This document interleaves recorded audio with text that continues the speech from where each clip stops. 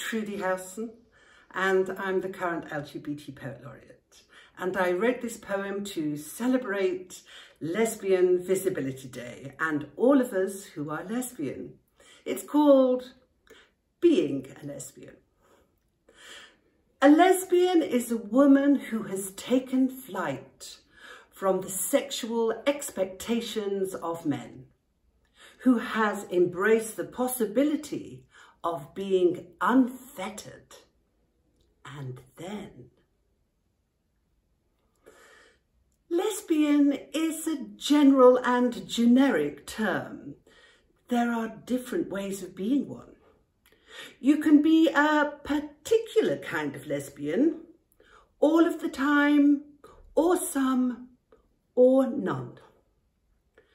We can have whatever we want or wish. Femme, butch, neither, or in between. It can vary due to desire or circumstance. Lipstick, tattooed, casual or keen.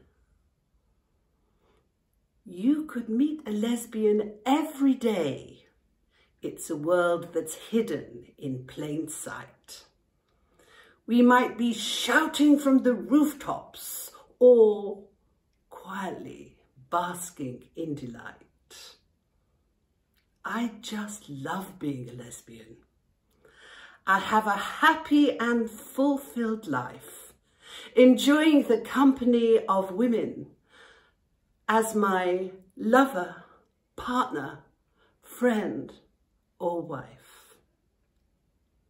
Thank you. I hope that you enjoyed it and keep on being visible.